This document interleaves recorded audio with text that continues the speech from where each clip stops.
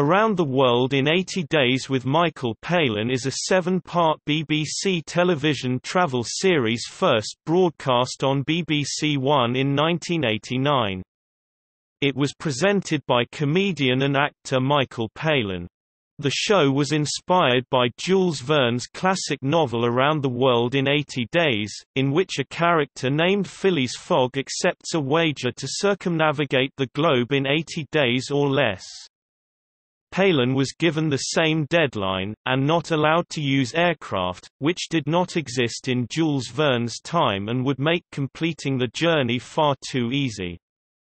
He followed Phileas Fogg's route as closely as possible. Along the way he commented on the sights and cultures he encountered. Palin encountered several setbacks during his voyage, partly because he traveled with a five-person film crew, who are collectively named after Passepartout, Phileas Fogg's manservant. The program was a critical and commercial success, winning strong ratings in the UK and selling well abroad. It was also released on videotape and later on DVD. Following the trip Michael Palin wrote a book about the experience. This book contains much more detail than could be presented in the TV program, and Palin's personal views are also more clearly evident. The book contains many pictures from the trip. Around the World in 80 Days was the first of a trilogy of globe-crossing series featuring Michael Palin as he visited many countries. The second series was Pole to Pole with Michael Palin, traveling from the North Pole to the South Pole, an eight-part series first broadcast on BBC One in 1992, and the third was Full Circle with Michael Palin, the circumnavigation of the Pacific Rim, a ten-part series first broadcast on BBC One in 1997. The series were followed by several similar conceptual travel series featuring Palin as he concentrated on smaller areas of the world. Hemingway Adventure following in the footsteps of Ernest Hemingway first broadcast in 1999, Sahara traveling around and through the Sahara Desert first broadcast in 2002, Himalaya traveling around the Himalayas first broadcast in 2004, New Europe traveling around Eastern Europe first broadcast in 2007, Brazil first broadcast in 2012, and Michael Palin in North Korea broadcast in 2018.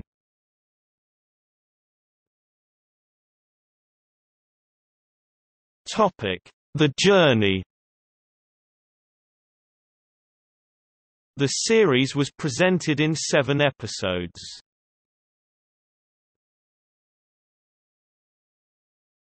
Topic: Outward Bound. Palin accepts the offer from the BBC to attempt travelling around the world in 80 days. After setting off from the Reform Club in London, he boards the Orient Express at Victoria Station in London, while reminiscing on his rigorous preparations for his upcoming circumnavigation, which included a daily exercise programme, a chat with seasoned TV traveller Alan Whicker, who was the BBC's but not the production team's who deliberately talked him out of it first choice for the series and would go on to criticise the show, calling it a seven-hour ego trip, and the purchase of an inflatable globe. He also has dinner with his referees, who include Robert Hewison and fellow Pythons Terry Jones and Terry Gilliam. After taking a ferry across the English Channel, Palin crosses the Alps by train before being stopped in Innsbruck due to an Italian railway strike. Arriving in Venice by coach, he helps the local sanitation department clean up the city. After that, he travels through the Corinth Canal to Athens, where he sees the world-renowned Evzones, and meets a die-hard Python fan. After a brief stopover in Crete, Alexandria beckons.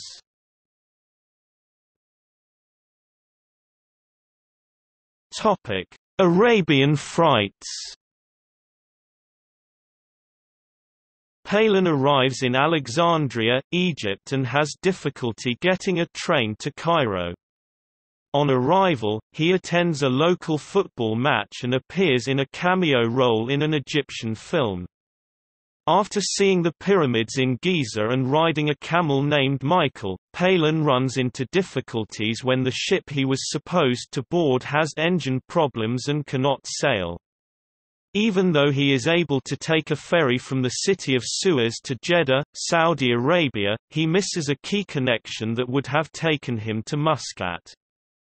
As a last-ditch effort to save the journey, Palin and the director Clem Vallance and somebody from the British Embassy and a driver for some of the way are permitted by the Saudi authorities to drive across Saudi Arabia to Dubai, with the rest of the crew and the problematic camera equipment making the journey by air. The Saudi Arabia leg of the trip is represented in the TV series only with a few still pictures taken along the way.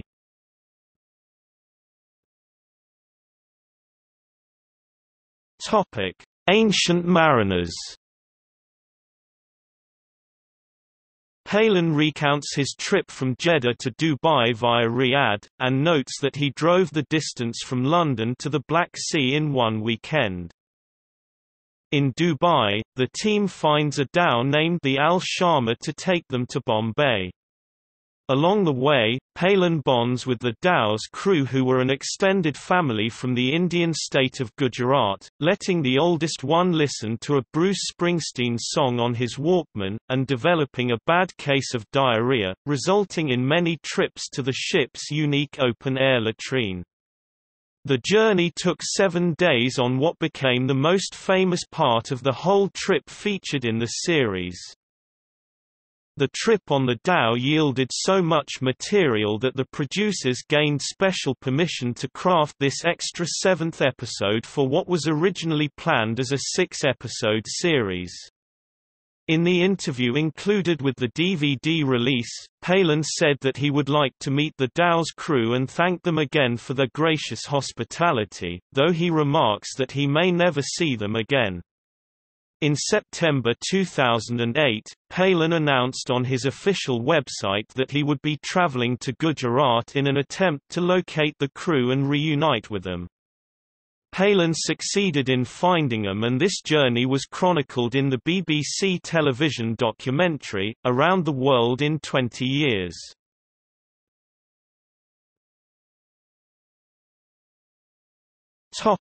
A close shave In Bombay, Palin finds himself a week behind Phileas Fogg. After getting a quick shave from a blind barber under a tree and seeing a snake charmer's cobra, he is able to get a train ticket to Madras in southeastern India. Before leaving Bombay, he visits astrologer Jagitupal who, after giving him a chart for a baby to be born to one of his referees, Robert Hewison, tells him he will complete the journey on time, possibly even ahead of schedule and that time lost will be made up throughout the voyage. He also suggests that this will be just the first of many epic journeys Palin will make over the coming years. Palin then embarks on the Indian Railways express line called the Southern Express for Madras in Tamil Nadu state. On the way, it stops in Pune, where Palin talks about his father winning two rowing cups there in 1923. In Madras, he has difficulty finding a connecting boat to Singapore. Eventually, an Anglo-German Indo-Yugoslav agreement the UN would have been proud of was reached and Palin sets off on a Yugoslavian freighter, 11 days behind. The agreement allowed only Palin and the cameraman Nigel Meakin to travel aboard the ship, and on condition that they worked as deckhands. That meant that Palin had to take a crash course in sound recording so they could film aboard the ship. Arriving in Singapore, Palin worries whether or not his connecting boat from Singapore has sailed. If it had, it would have been impossible to complete the journey in 80 days.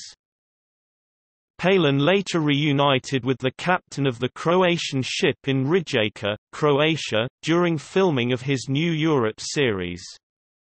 This meeting was not shown in the original broadcast of the series but it is on the deleted scenes on the DVD.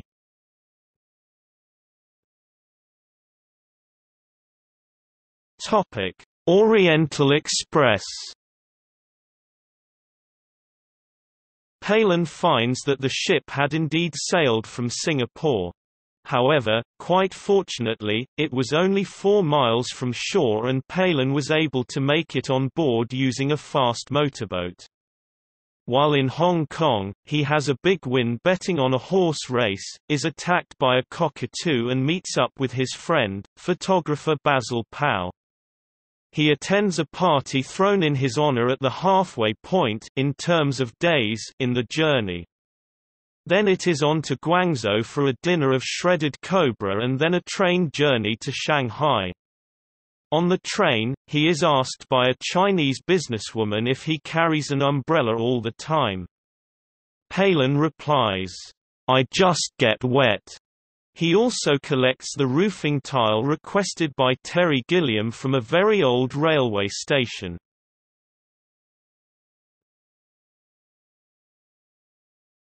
Topic: Far East and Farther East.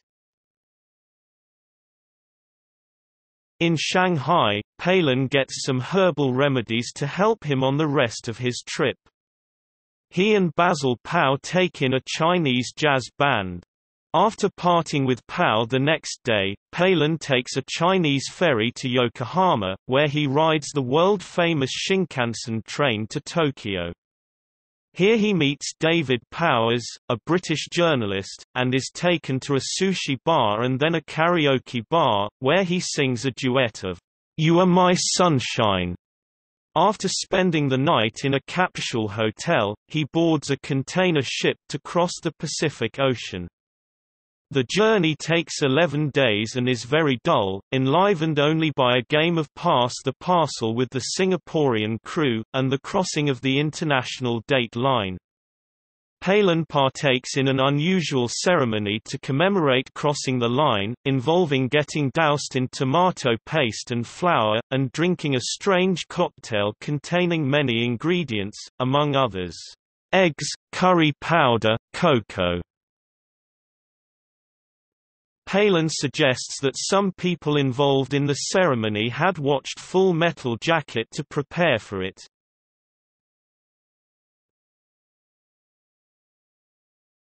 Topic: Dateline to deadline.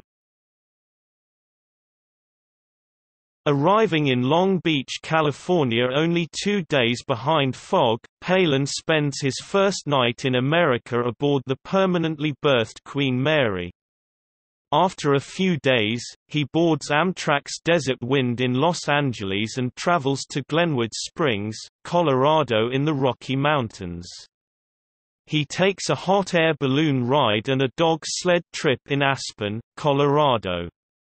After a nerve-wracking delay he realizes he probably should have stayed on the Chicago-bound train. Eventually arriving in New York City, Palin was actually supposed to depart North America from Nova Scotia, Canada, as he mentions earlier in the film, but the reason for the substitution for New York is not mentioned in either the film or the book, although the delay due to the stopover in Colorado is a probable cause. However, it should be noted that in the first episode it is mentioned that departure from either New York City or Nova Scotia would be where the final leg of the journey would take place. He boards the final ship of his journey dead even with Phileas Fogg on day 71. This container ship takes eight days to cross the Atlantic Ocean, and after a quick lunch in Le Havre, Palin arrives in Felixstowe, touching Great Britain for the first time in two and a half months. A few train connections later he arrives at his starting point, the Reform Club in London, but is not allowed into film. The journey ends 79 days and 7 hours after it began. The closing credits show Palin chatting with his referees as he presents the souvenirs requested by them at the beginning to ceremonially prove his accomplishment.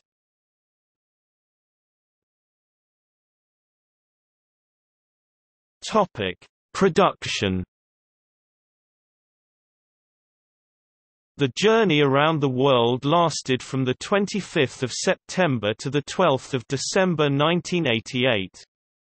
Palin traveled through the following countries by foot, train, ship, balloon, and husky dog, amongst other methods of transport except for aircraft, United Kingdom, France, Switzerland, Liechtenstein, Austria, Italy, Greece, Egypt, Saudi Arabia, Qatar, United Arab Emirates, India, Singapore, Hong Kong, China, Japan, and the United States. Only four members of Palin's film crew completed the circumnavigation, Clem Vallance, Roger Mills the directors, Angela Elborn, and Anne Holland the production assistants. The three others who started with him left when they got to Hong Kong, and were replaced by others. Strictly speaking, it was only Palin who obeyed the rules of the journey, as the production team was not allowed on the road trip across Saudi Arabia and Qatar. Palin and Clem Vallance did this stretch, or on the Croatian ship, Palin and Nigel Meakin did this stretch. The remainder of the team flew on these stretches. During the Jeddah to Dubai episode, Palin managed to snap a few pictures which are seen in the documentary. While preparing for the journey, Palin had a chat with renowned documentarist Alan Whicker.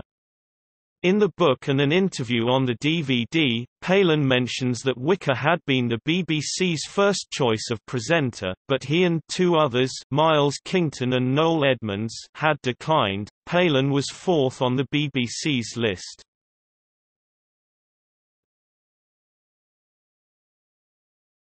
Topic: Around the World in 20 Years On 30 December 2008, the BBC aired a special one-hour documentary entitled Around the World in 20 Years. In it, Michael Palin goes in search of the crew of the Al Sharma, the dhow which carried him from Dubai to Bombay now Mumbai some 20 years ago. After an extensive search involving the shipping company that owned Al Sharma, Palin tracks them to the city of Mandvi in Gujarat. There, Palin finds the captain of Al Sharma himself, along with five other members of the crew. Sadly, two of the original crew members had died in the intervening years, one of them being the older man whom Palin had let listen to Bruce Springsteen on his Walkman. Palin also discovers that the Al Sharma had sunk in the Indian Ocean while being towed for repairs years before. The production crew are the same people as on 80 Days.